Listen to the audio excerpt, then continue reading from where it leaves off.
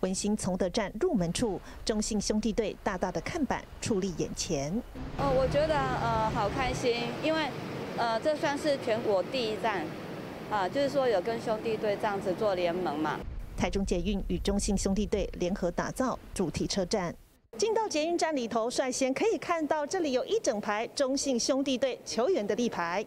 整条捷运绿色，它的主色系是绿色，可是只有文心崇德站，大家可以看到它的站体颜色是中信兄弟的颜色，黄色。不止车站内有相关布置，未来还听得到球员们特别录制的广播。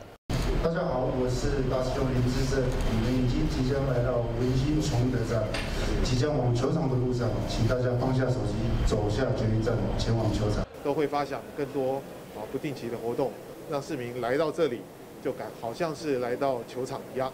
这个月二十五号，台中捷运恢复试营运。早上六点第一班车，最后一班车是半夜十二点，但是还加开一班，每天一定加开一班，十二点十五分的要接驳高铁站啊末班车哈。捷运绿线恢复营运，为期一个月，免费搭乘。大爱新闻黄子玲、廖雪信台中报道。